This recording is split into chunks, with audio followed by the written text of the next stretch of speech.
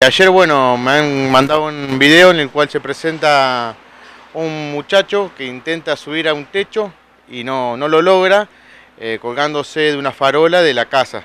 Eh, no lo logra porque la farola se le cae y bueno, eh, sustrajo la farola de ese momento, digamos, se la llevó. ¿Llaman la atención estos hechos o ya vienen sucediendo desde hace algún tiempo?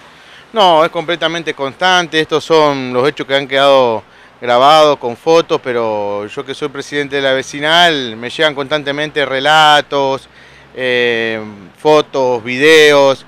Eh, la verdad que hemos estado en contacto con la, presidenta de la vecinal 9 de julio, Susana, Cristian Acuña de eh, Unidad y Progreso de Barranquita, y también ellos también estamos cansados, hemos tenido reuniones, pero bueno, todo cae en saco roto lamentablemente.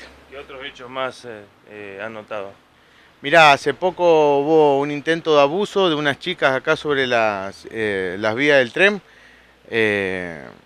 y bueno, estábamos en la esquina, en un momento se escucha un griterío, eran cerca de las ocho y media de la, noche, un poquito más. Y bueno, cuando nos acercamos le pregunto a las chicas si estaban bien y nos dijo que nos, intentaron manosear y nos dijeron cosas guarangadas. Cuando me acerco a la, a la ciclovía, a la vía, perdón, veo dos personas corriendo y, bueno, lamentablemente eh, las chicas no quisieron hacer ningún tipo de aviso a la policía. ¿Observa presencia policial, patrullaje?